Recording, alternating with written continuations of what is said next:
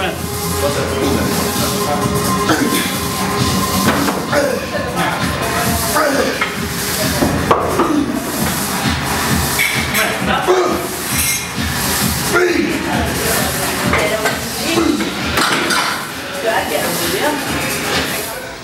Når stilte du sist?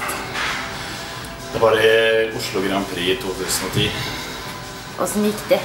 Da vant jeg Det var bare tre stykker i klassen, da, men jeg vant over.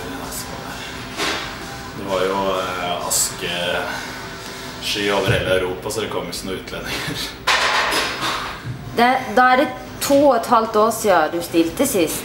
Eh, hva er det du har gjort på de årene? Nei, jeg har flytta fra Oslo til Hamar og fått ei datter.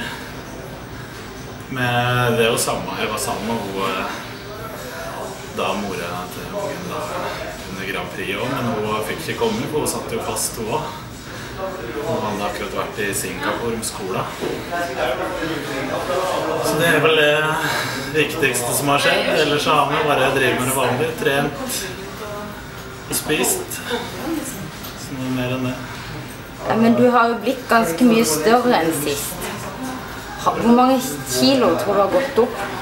Nei, det er. Det spørs jo litt på hvordan man regner det. Fem kilo, kanskje.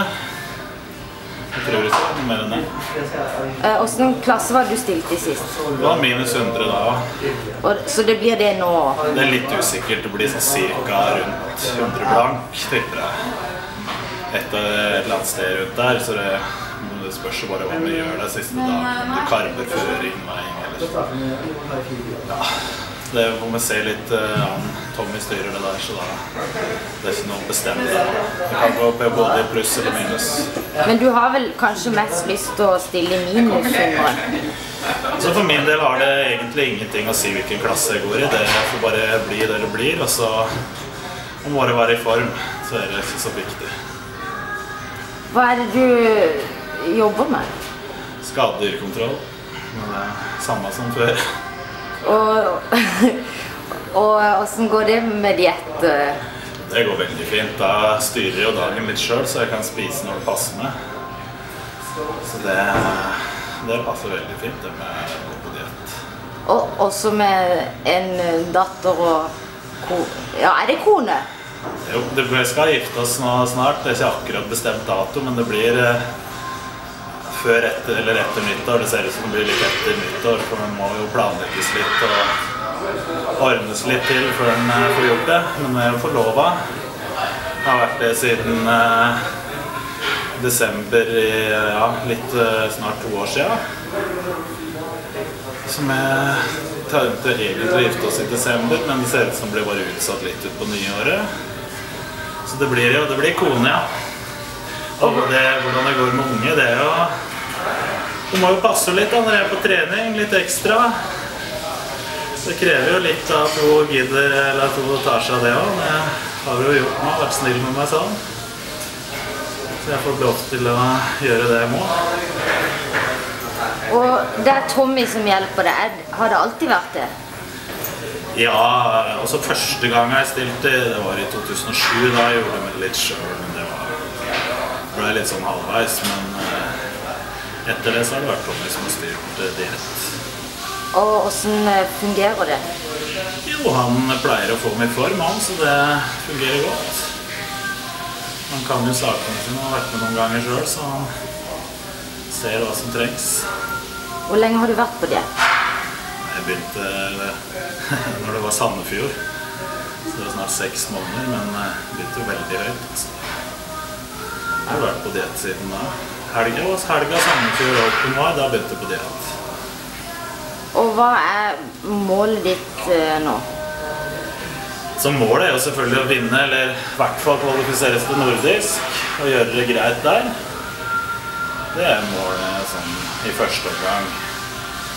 Det spørs jo helt på hvem man stiller imot, hvor gode de er. Ja. Komme i best mulig form sjøl. Ja, det er jo det som er hovedmålet nå.